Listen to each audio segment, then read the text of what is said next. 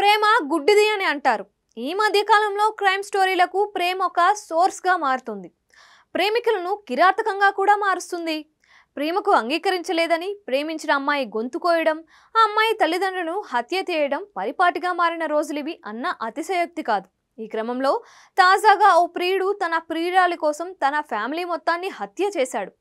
ప్రేమ ఎంత మధురం ప్రియురాలు అంత కఠినం కాదు. ప్రేమ ఎప్పటికీ మధురమే. కానీ కొంతమంది ప్రేమికులే కఠినంగా రాక్షసులుగా మారుతున్నారు. ప్రేమ అని చెప్పుకుంటూ ఆ మైకంలో దారుణాలకు ఒడిగడుతున్నారు. ఈ క్రమంలో తాజాగా ఓ మైనర్ బాలుడు తన ప్రియురాలతో పెళ్ళికి అంగీకరించడం లేదని తన ఫ్యామిలీ మొత్తాన్ని హత్య చేశాడు.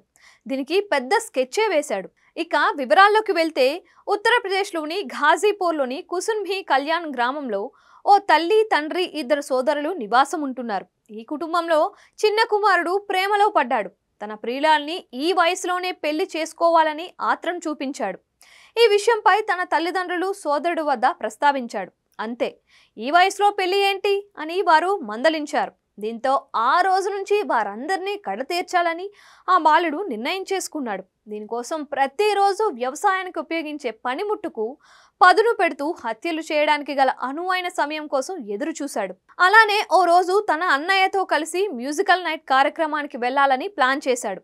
అనుకున్నట్టుగానే అన్నదమ్ములిద్దరూ మ్యూజికల్ నైట్కి వెళ్ళి వచ్చారు. అనంతరం తన అన్న తల్లిదండ్రులతో కలిసి భోజనం చేసి నిద్రపోయాడు. దీంతో మద్యం సేవించిన మత్తులో ఉన్న ఆ పదిహేనేళ్ళ బాలుడు ఇదే సరైన సమయం అనుకున్నాడు. ఇంతకు మించి మంచి అవకాశం రాదు అనుకున్నాడు.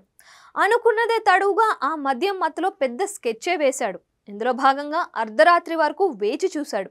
ఈలోపు అర్ధరాత్రి దాటింది. సరిగ్గా ఆ సమయంలో తన తండ్రి మునీష్ బింద్ తల్లి దేవంతి బింద్ సోదరుడు రామ్ ఆశిష్ బింద్లను ఈ పదిహేనేళ్ళ బాలుడు అర్ధరాత్రి దాటిన తరువాత వ్యవసాయం చేసే ఆ పనిముట్టుతో గొంతులు కోసేశాడు. ఈ సమయంలో తీవ్ర రక్తస్రావంతో ముగ్గురు కుటుంబ సభ్యులు ఇంట్లోనే మృతి చెందారు. బాలుడు అక్కడి నుంచి పరారయ్యాడు. మరుసటి రోజు బంధువులు గ్రామస్తులు పోలీసులకు సమాచారం అందించారు. దీంతో సంఘటనా స్థలానికి చేరుకొని ముగ్గురి మృతదేహాలను పోస్టుమార్టం నిమిత్తం ప్రభుత్వ ఆసుపత్రికి తరలించారు. అనంతరం ఆ బాలుడు కోసం గాలించిన పోలీసులు అతన్ని పట్టుకొని అరెస్ట్ చేశారు. ఈ హత్యలకు గల కారణం విని గ్రామస్తులు బంధువులు షాక్ అవగా కేసు విచారణలో ఉందని పోలీసులు తెలిపారు.